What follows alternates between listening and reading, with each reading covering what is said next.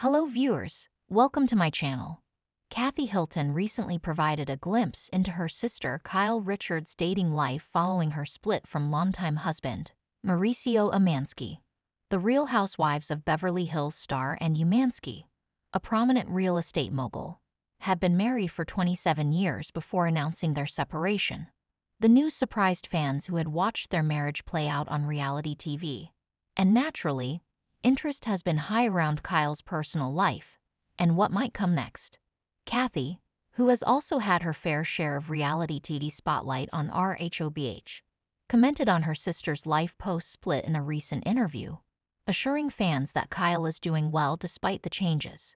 She mentioned that Kyle is focusing on herself, prioritizing her well-being, and taking time to explore what she wants at this new stage in her life.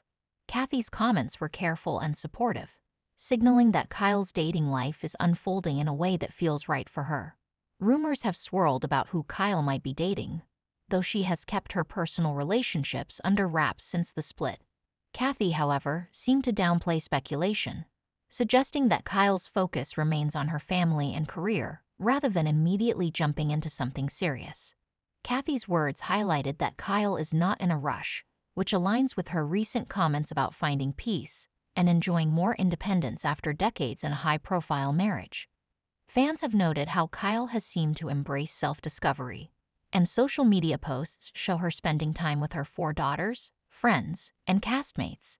Kathy also pointed out that Kyle has a strong support system, and she praised her sister for handling the transition with grace, proving that she is resilient in the face of life's shifts.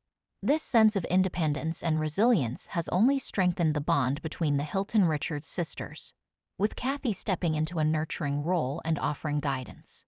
While Kathy didn't provide specific details about any new romance in Kyle's life, her message was clear. Kyle is on a path of self-reflection and self-care. For now, she's enjoying the journey, and her focus remains on family, friends, and herself. Anything beyond that, including romance, will unfold naturally when the time is right.